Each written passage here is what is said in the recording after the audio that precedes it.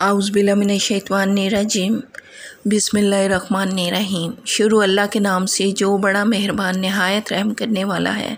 उम्मीद करती हूँ आप सब खैरियत से होंगे। अस्सलाम वालेकुम व्यूवर्स, जहाँ भी रहें, अल्लाह पाक के हिफ्ज़ ईमान में आप सब रहें।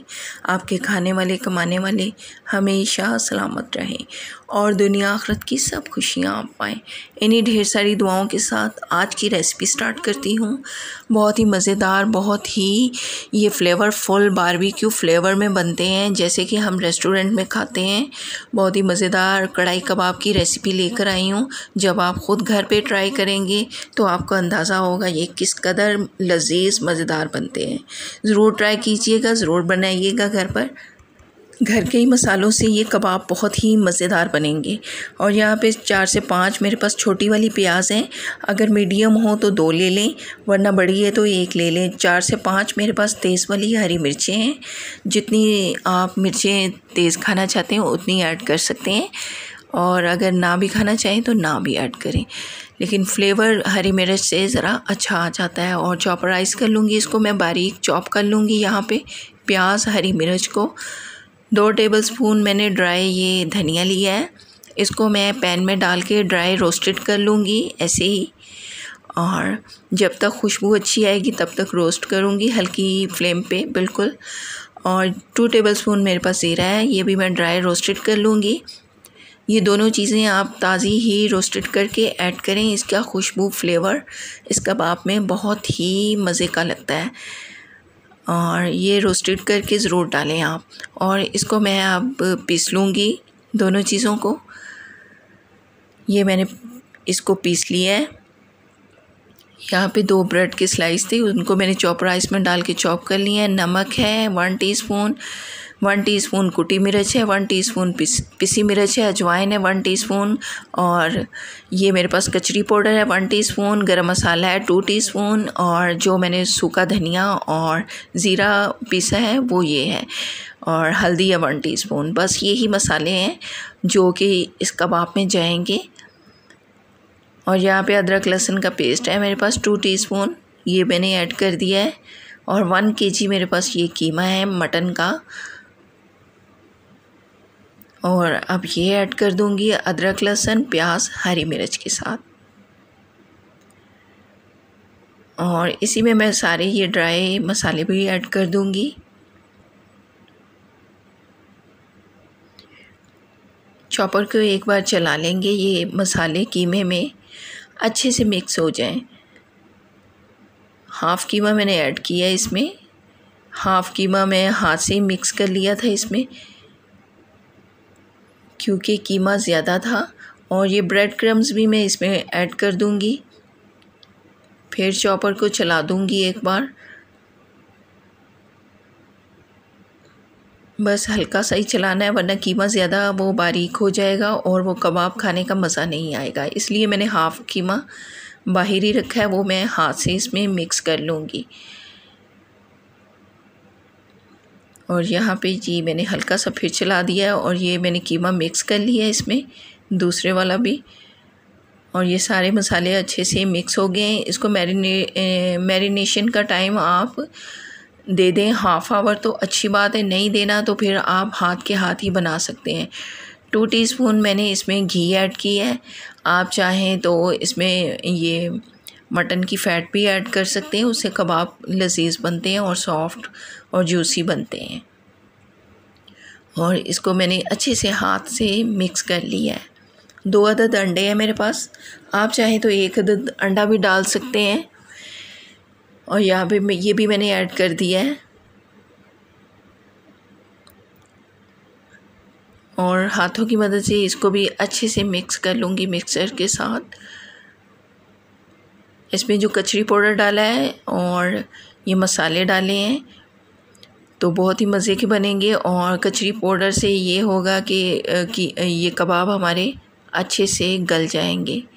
अंदर तक जूसी सॉफ्ट बनेंगे इन तो यहाँ से मैंने एक चम्मच ले लिया, उसकी बैक साइड। ये गोल सी मोटी है, इससे कबाब की शेप अच्छी बन जाती है और इसको, इसकी मदद से मैं कबाब की सारे कबाब इसी से शेप के बना लूँगी छोटे छोटे ज़्यादा बड़े नहीं बनाने। एक कढ़ाई ले ली है टू टेबल स्पून मैंने देसी घी लिया है, यहाँ पर आप चाहें तो ऑयल भी यूज़ कर सकते हैं। और ये मैंने ऑमलेट की तरह ये प्याज चॉप कर ली है। दो प्याज़ें थी मेरे पास मीडियम वो मैंने चॉप कर ली हैं। बिल्कुल बारीक। और इसको मैं सोटे कर लूँगी। ब्लैक नहीं करना हमने। इसका कच्चापन दूर हो जाए और प्याज सुनहरी रंग का हो जाए। बस यहाँ तक करना है वरना आ, मसाले का टेस्ट कड़वा हो जाएगा। अगर इसको ज़्यादा फ्राई कर लिया तो। इसीलिए इसको सोटे करना है और प्याज का कलर सिर्फ़ सुनहरी करना है हमने।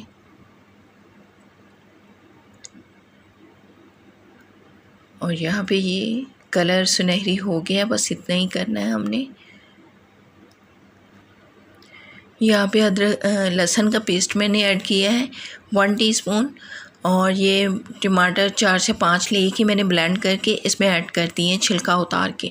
One teaspoon two teaspoon sorry मेरे पास चिली फ्लेक्स है, ये ऐड कर दिए वन टीस्पून नमक ऐड कर दिया है और टू टीस्पून मैंने भुना कुटा ज़ीरा, धनिया ऐड कर दिया है। बस यही मसाले इसमें जाएँगे और मसाला यहाँ तक भून लेना है कि मसाले का कच्चापन दूर हो जाए।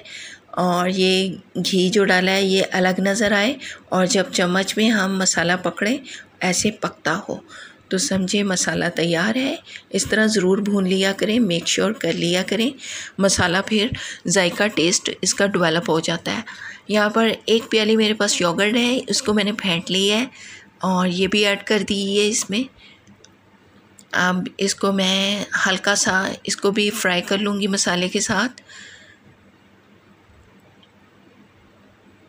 इसको मिक्स कर लें और जब भी योगर्ट आपने डालना हो फ्लेम ज़रा हल्की करके डालें और फिर योगर्ट ऐड करें।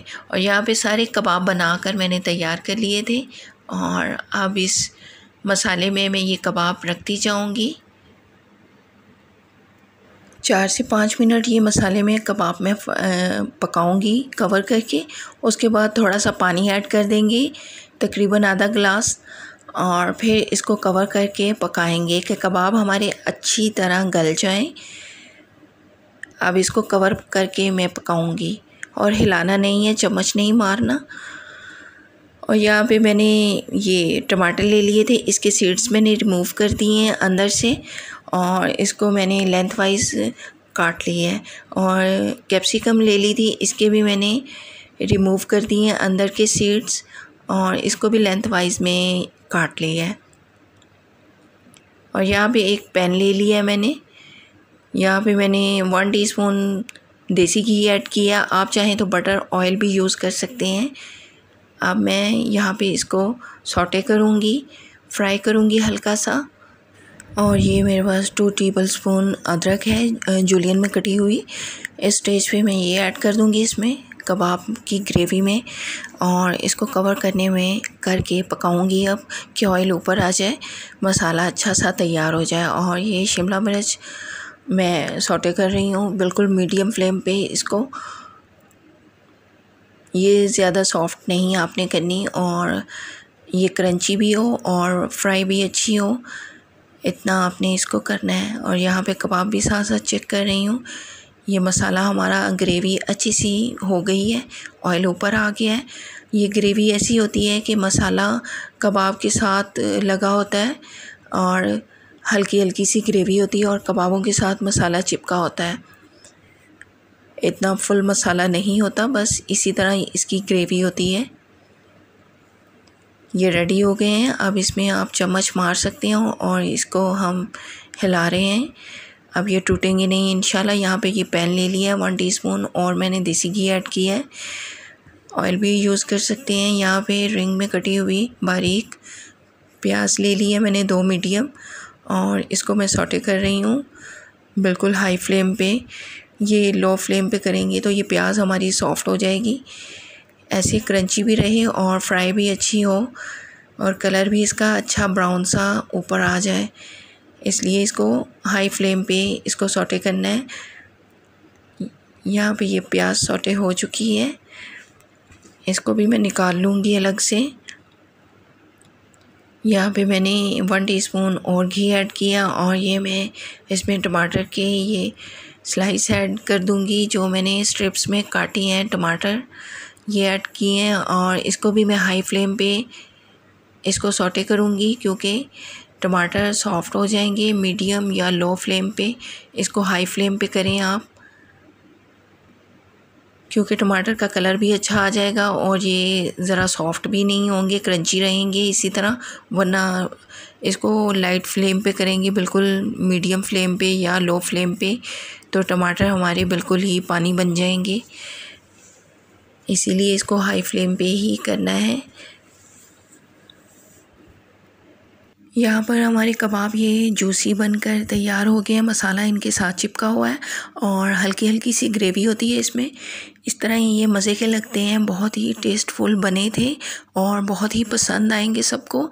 आप ज़रूर ट्राई कीजिएगा, जो भी खाएगा, आपकी तारीफ़ किए बगैर नहीं रहेगा। ये ज़रूर रेसिपी को ट्राई कीजिए, आपको बहुत पसंद आएगी। और यहाँ पे इसका ऑयल भी ऊपर आ गया है। अब इसकी फ्लेम मैं कर दूँगी ऑफ़ और यहाँ पे जूलियन में कटी हुई कुछ अदरक है मेरे पास, ये ऊपर डालूँगी। याद रहे कि मैंने ग्रेवी में लहसन ही ऐड किया था, अदरक ऐड नहीं किया था, इसलिए जूलियन में कटी हुई अदरक अब मैं यूज़ कर रही हूँ। और इस पर मैं अदरक और हरी मिर्च ऐड करूँगी और ये स्ट्रिप्स में कटी हुई शिमला मिर्च और टमाटर जो मैंने सोटे किए थे, ये भी ऐड कर दिए हैं और प्याज मैंने ऐड नहीं किए।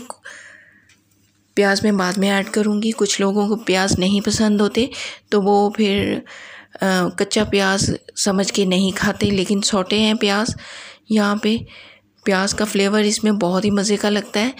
इसलिए कुछ लोगों को घर में नहीं प्याज पसंद इसलिए मैं बाद में ऐड करूँगी। आप चाहें तो साथ ही ऐड कर दें सारी चीज़ें। यहाँ पे ऑप्शनल है बेबी कॉर्न भी आप डालना चाहें तो आप उनको, उसको भी डाल सकते हैं। इसमें बहुत ही मज़े की लगेंगी। कैप पहले ही मैंने हाथ में पकड़ ली है। कोयला दहका हुआ मैंने फॉइल में रख के। इसको मैं ऊपर से ऑयल डालूँगी इस कोयले के ऊपर थोड़ा सा और फ़ौर से ऊपर कवर रख दूँगी कि इसकी स्मोक अंदर ही रहे। और बड़ा ही अच्छा एक बारबेक्यू फ्लेवर इसको आ गया था। तीन से चार मिनट में ही। और मैंने इसका कवर हटा के फिर इसको चेक किया है कि अच्छी स्मोक इसमें आ गई है। बहुत ही मज़ेदार बने थे। ज़रूर ट्राई कीजिएगा चपाती के साथ राइस के साथ और तंदूर की रोटी के साथ भी और नान के साथ भी आप इसको इंजॉय कर सकते हैं। चलें जी, ये इसकी फ़ाइनल लुक चेक कर लें। जिन्होंने मेरा चैनल अभी तक सब्सक्राइब नहीं किया और जो न्यू है मेरे चैनल पे वो सब्सक्राइब कर लें, उनसे रिक्वेस्ट है मेरी। और रेसिपी अच्छी लगे तो लाइक एंड शेयर भी ज़रूर करें। और बेल आइकन को दबाएँ ताकि मेरी हर आने वाली वीडियो सबसे पहले का नोटिफिकेशन आपको मिले। उम्मीद करती हूँ आपको रेसिपी अच्छी लगी होगी। अपना रखें व्यूवर्स बहुत ढेर सारा ख्याल। अल्लाह पाक के हिफ्ज़ ईमान में आप सब रहें। आपके खाने वाले, कमाने वाले हमेशा सलामत रहें और दुनिया आखरत की सब खुशियाँ आप पाएँ। इन्हीं ढेर सारी दुआओं के साथ इजाज़त चाहती हूँ आपसे। अल्लाह हाफिज़।